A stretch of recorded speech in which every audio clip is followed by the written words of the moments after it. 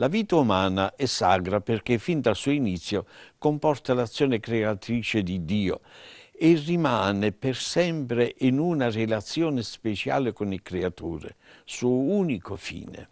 Solo Dio è il Signore della vita dal suo inizio alla sua fine. Nessuno, in nessuna circostanza, può rivendicare a sé il diritto di distruggere direttamente un essere umano innocente.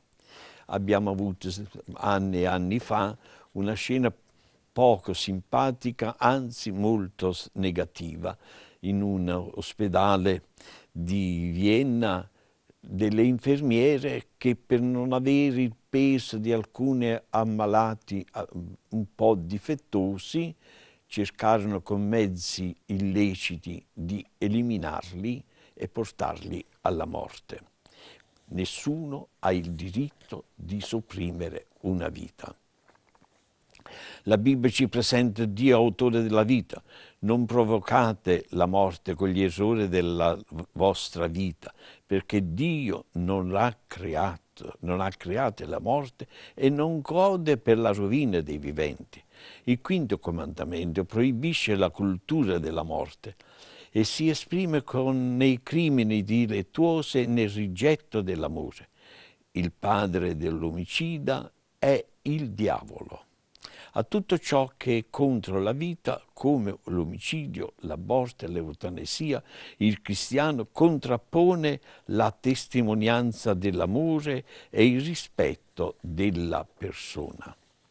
La vita è un tono da curare e difendere possiamo fare anche una preghiera al riguardo. Oh Signore, fammi comprendere che custodire la vita propria e quella degli altri significa dare cure amorevoli a quanti ci circondano, come genitori, anziani, parenti, nemici, anche se tale impegno richiede fortezza, temperanza e donazione. Chiunque odia il proprio fratello è omicida. Voi sapete che nessun omicida possiede in sé la vita eterna.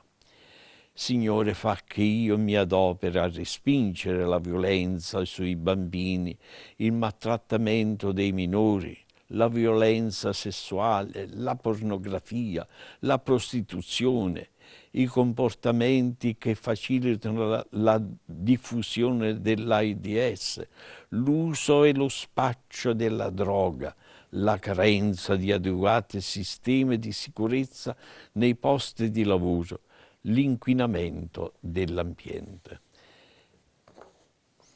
San Francesco, l'uomo che era proteso alla perfezione e alla salvaguardia dell'universo, riceve il dono del corpo come partecipazione all'incarnazione del Figlio di Dio e viene destinata alla beatitudine eterna. Non può accettare violenza alcuna, neppure sulle altre forme di vita, sulle piante, sugli animali e sulla creazione in genere. Sappiamo bene dalla storia come Francesco amava tutte le creature a cominciare del vermiciattolo che incontrava sulla strada agli uccelli dell'aria, tutte erano creature da lui amato. Su questa scia troviamo anche Padre Pio, che prega per tutti, si immola per tutti, diventa vittima per i fratelli, ma nello stesso tempo fa la carezza al cane, cane che era abbastanza preoccupante avvicinarsi, e Padre Pio lo avvicinava e faceva festa quel cane. Quella bestiolina aveva capito che Padre Pio gli voleva bene, lo amava.